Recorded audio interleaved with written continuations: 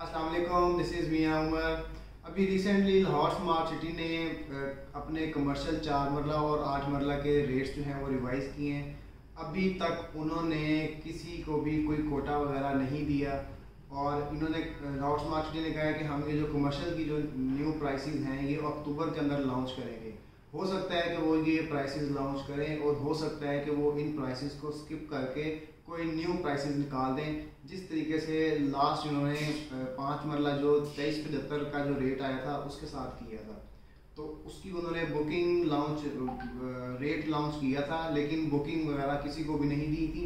और उसके बाद उन्होंने वो रेट जो है वो रिवाइज करके तो छब्बीस पचासी कर दिया। सो so, काइंडली किसी भी बंदे के पास इसका कोई कोटा नहीं है। आप अपना पैसा ज़ाया मत करें, किसी की बुकिंग ना पकड़ें किसी के साथ भी और अगर कोई आपको कहता है कि हम आपको बुकिंग देंगे तो इस तरह की कोई अभी जो है वो सोसाइटी की तरफ़ से अनाउंसमेंट नहीं है बुकिंग की। सिर्फ़ और सिर्फ़ उन्होंने एक रेट्स जो हैं वो पब्लिश किए हैं कि नेक्स्ट जो एक्सपेक्टेड रेट हैं लाहौर स्मार्ट सिटी के, चार मरला और आठ मरला कमर्शल के, वो ये हो सकते हैं।